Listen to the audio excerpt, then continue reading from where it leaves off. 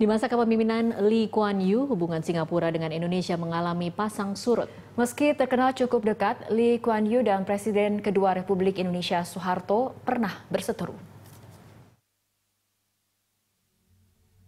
Dua prajurit Indonesia, Usman dan Harun, dijatuhi hukuman mati karena melakukan pengeboman di Orchard Road, Singapura tahun 1965.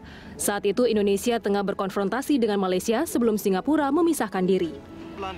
Soeharto meminta Lee memberikan keringanan hukuman kepada Usman dan Harun. Lee menolak. Akibatnya, Usman dan Harun dieksekusi pada 17 Oktober 1968. Kedatangan jenazah Usman dan Harun ke tanah air disambut murka warga. Warga menyerbu kedutaan besar Singapura di Jalan Indramayu Menteng, Jakarta Pusat. Dua tahun berselang, Lee dan Soeharto bertatap muka pertama kali di konferensi tingkat tinggi gerakan non-blok di Lusaka, Zambia. Pertemuan berlanjut dengan rencana Lee mengunjungi Indonesia. Soeharto mengajukan syarat yaitu Lee harus menaburkan bunga di makam Usman dan Harun di Taman Makam Pahlawan Kalibata, Jakarta Selatan. Lee pun menyanggupinya. Hubungan Indonesia dan Singapura pun pulih. Perjanjian demi perjanjian disepakati demi membangun perekonomian kedua negara. Hingga akhirnya Soeharto digulingkan melalui gerakan reformasi pada 1998. Lee sempat meragukan B.J. Habibie, namun melihat perkembangan Indonesia bangkit dari keterpurukan, Lee mengirim surat resmi melalui Tanri Abeng. Isi suratnya, saya salah tentang Anda.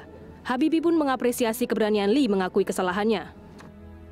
Di tengah hawa segar hubungan bilateral, tiba-tiba Lee kembali menyulut api. Pada 2002, Lee menyinggung keberadaan tokoh Majelis Mujahidin Indonesia Abu Bakar Ba'asyir yang masuk dalam daftar pencarian polisi Singapura dan Malaysia. Dalam sebuah acara, Lee berkata, Singapura tetap berada dalam kondisi berisiko dari serangan teroris karena para pimpinan wilayah teroris masih berkeliaran di Indonesia. Pemerintahan Indonesia yang kala itu dipimpin oleh Megawati Soekarno Putri geram. Setelah menjadi presiden, Susilo Bambang Yudhoyono kembali menegur Lee. Singapura sebagai tempat persembunyian strategis bagi koruptor Indonesia dianggap ogah-ogahan melakukan perjanjian ekstradisi yang sudah diteken 2007.